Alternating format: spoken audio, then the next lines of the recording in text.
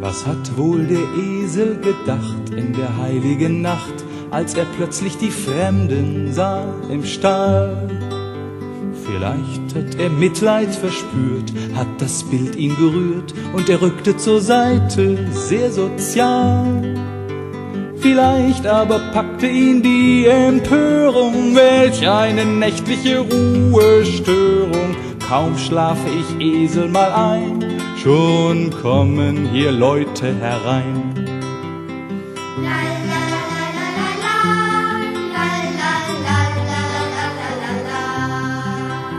Und dann lag da vor ihm das Kind und er dachte, jetzt sind es schon drei, was ist das für eine Nacht?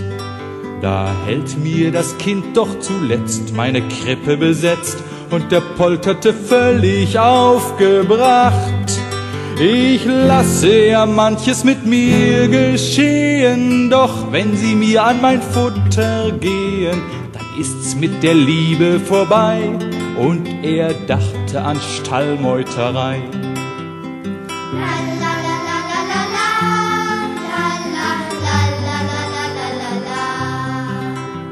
Er wusste ja nicht, wer es war, den die Frau dort gebar, hatte niemals gehört von Gottes Sohn.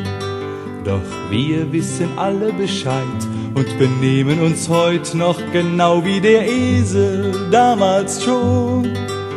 Denn Jesus darf uns nicht vom Schlaf abhalten, nicht unseren liebsten Besitz verwalten. Doch wer ihm die Türen aufmacht, der hat jeden Tag heilige Nacht. Doch wer ihm die Türen aufmacht, der hat jeden Tag heilige Nacht.